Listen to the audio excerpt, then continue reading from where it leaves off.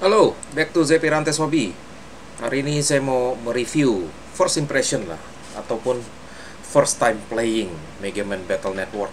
Di sini Legacy Collection ini dibagi menjadi dua, volume 1 dan volume 2. Ini kalau nggak salah volume 1 tuh 1 sampai 4, ini 5 sampai 6 dan berikutnya. Oke. Jadi pertama-tama untuk di full mode ini saya akan kasih lihat Legacy Collection volume 1 kita mungkin start dari nomor satunya aja dulu.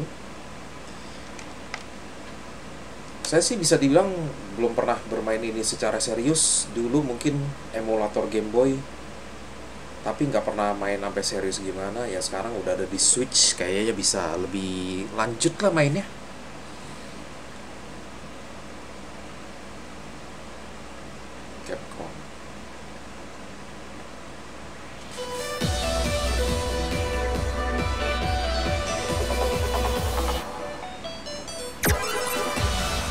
Is it evening already?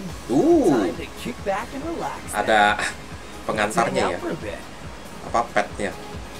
Battle Network 1 2 3 oh 1 2 3 tapi ini ada white sama blue. Berarti isinya kayak kurang lebih 4 game yang sana juga mungkin 4 game. 1 2 3 4 iya Battle Network kayak 6 deh. Ini beserta variannya ya.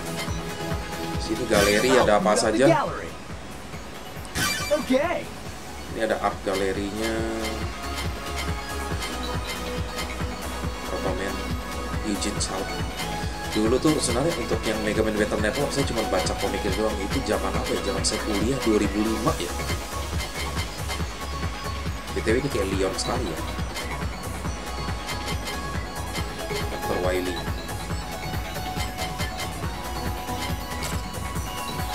dari data music player trophy download chip terus settingnya ada apa saja language. English Mandarin. Ya Inggris saya lah. Jangan jangan cari aneh-aneh. Display setting screen layout largest filter on. Ini kalau saya yang filter yang original atau yang di reshape ya. Border setting ada banyak pilihan. Sound setting ini biarkan saja dulu special setting Mega Man Skin normal atau up style nanti satu-satu saja lah kita coba dulu Mega Man Battle Network yang pertama Buster Max On Enhance Mega Buster Attack Power ini sebenarnya bisa dibilang apa eh bukan chip lah ya ya mode chips? Try trading online. Someone's bound to have the chips you're looking for. Dan kita di sini juga bisa main battle online juga ya start aja dulu deh Take it away, operator.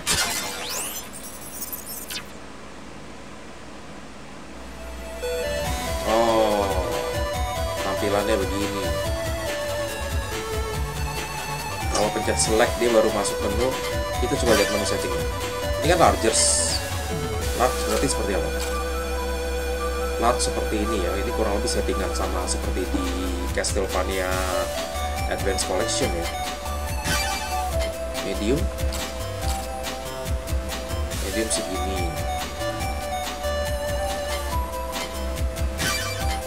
small. Small ini apakah bisa dibilang resolusi original Game Boy tapi kayak nggak mungkin ya terlalu kecil. Oke. Kalau filternya on, ya tampilannya lebih kotak-kotak. Display setting saat ini saya pakai largest dulu. Kita coba main dulu. New game. Oh iya, ini filternya off dia jadi seperti ini ya coba filternya di on ah lebih perhalus tidak kotak-kotak pixelated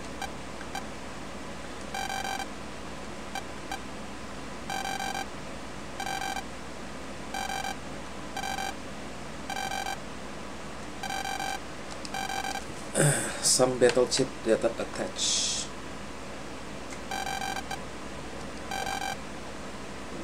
That later, bangun Pelankan inspect Mega Man X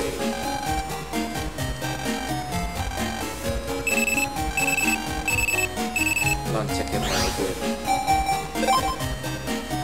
jadi papanya. Terus dan C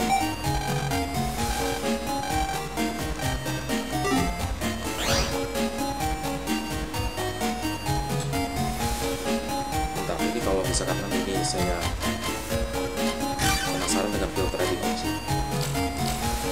Oh terlalu kotak-kotak sekali ya. Mungkin kalau main handheld nggak terlalu berasa tetapi ini karena saya mainnya di docking jadi kotak-kotak banget nggak enak. Filternya harus nyala. Nah ini lebih bagus.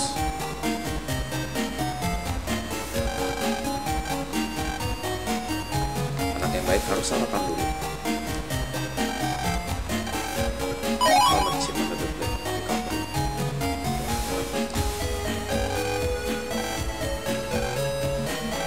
grumpy.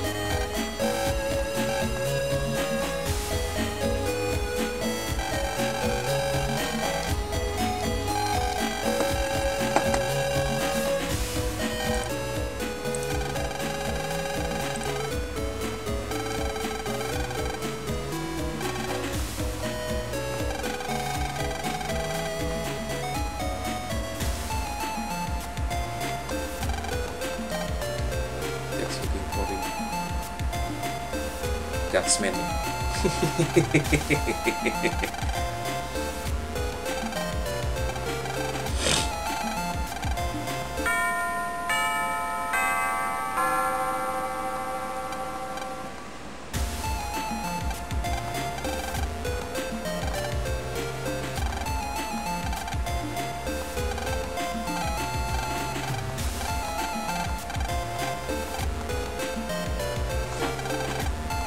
check it out.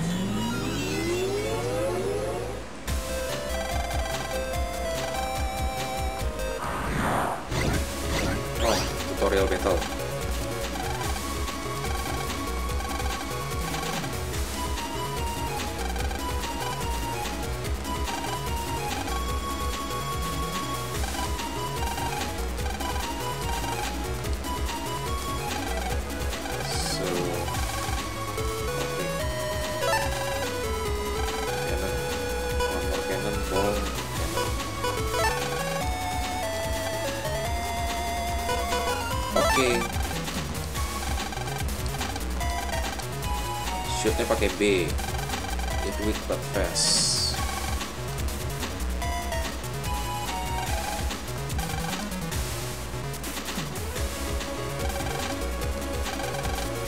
Basic ya.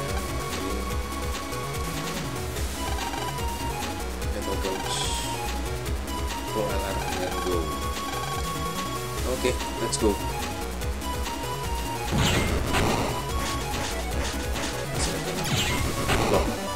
mati Oh, Mega Busternya di maksimum ya? Coba kalau ini dimatiin kayak apa ya? Dulu perasaan ditembaknya satu-satu-satu. Satu kali tembak satu poin. Jadi skip-skip aja lah ya.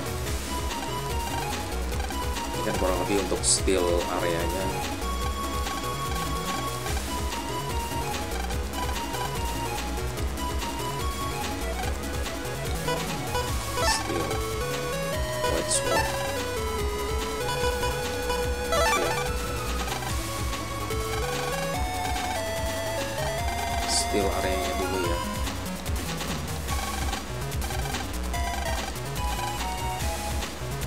Battle start udah steal. Oh ya bener. Ini kalau dimatiin dia jadi ini. Jadi satu poin satu poin. Tapi kalau misalkan Buster Max mode one hit kill ini. Bukan one hit kill. Ya namanya udah game jadul lah ya jadi kalau nggak ada fast mode atau ini ya udah ditinggalin orang orang tuh mainnya maunya buru-buru. Karena udah tahu endingnya juga. Jadi lebih kayak apa ya? Ah, apa sih istilahnya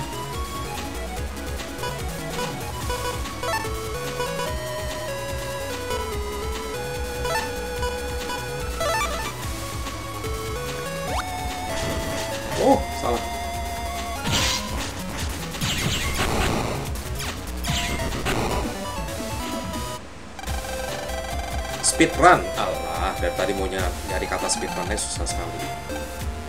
Start class let's go. Oke. Oh ini bisa set Battle sama Gutsman dulu. Battle sama Gutsman habis itu kita udahan deh. Eh Salah pencet. Yes Gutsman dulu 200 Wow Recovery ini Mini bomb Manel Recovery cannon Saya mau ini dan ini aja deh. Eh Aja deh ini dulu deh.